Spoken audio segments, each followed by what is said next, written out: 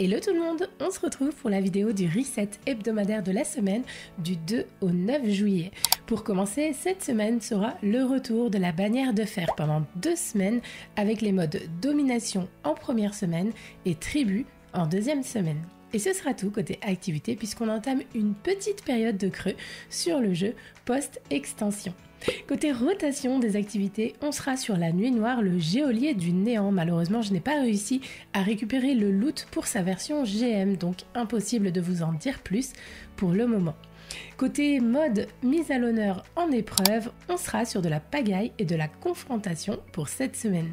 Côté raid à l'honneur, ce sera le serment de disciples avec différents loots comme le lance-grenade cryo-électrique Tolérance, le glaive solaire ruine de Lubrae, le fusil à fusion linéaire cataclysmique, le fusil à fusion stasique Délivrance, l'APM cinétique Soumission, l'impulsion cryo-électrique Insidieuse et l'impulsion exotique abyssale Obligation collective. Si jamais il vous manque des armes et que vous souhaitez les farmer, sachez que nous sommes intéressés par farmer ce raid cette semaine. Vous pouvez donc nous rejoindre directement sur notre Discord dont le lien se trouve en barre d'infos.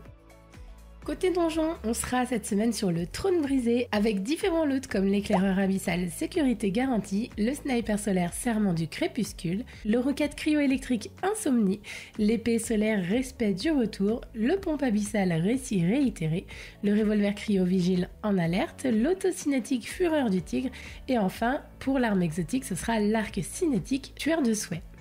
Côté mission exotique cette semaine, on sera sur la mission Présage avec son loot exotique, le fusil éclaireur récit d'un homme mort.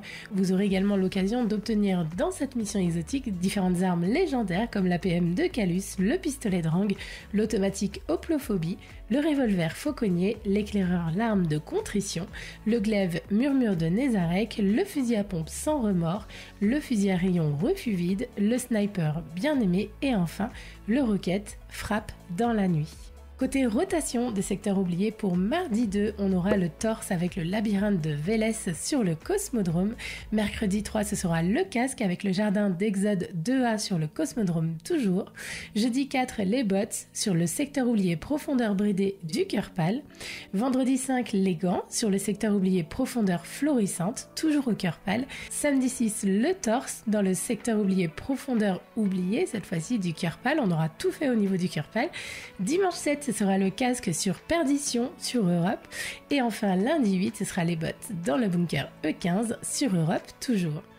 Je vous laisse sur toutes ces informations si toutefois vous savez comment récupérer les loots au niveau de la nuit noire en GM pour chaque semaine. N'hésitez pas à me partager l'info puisque ça fait un petit moment que je cherche déjà et je n'arrive pas à trouver cette information. Or, j'aimerais beaucoup l'avoir en avance. Je vous laisse sur tout ça. Profitez bien, geek et bien. On se retrouve très bientôt pour d'autres infos. Ciao tout le monde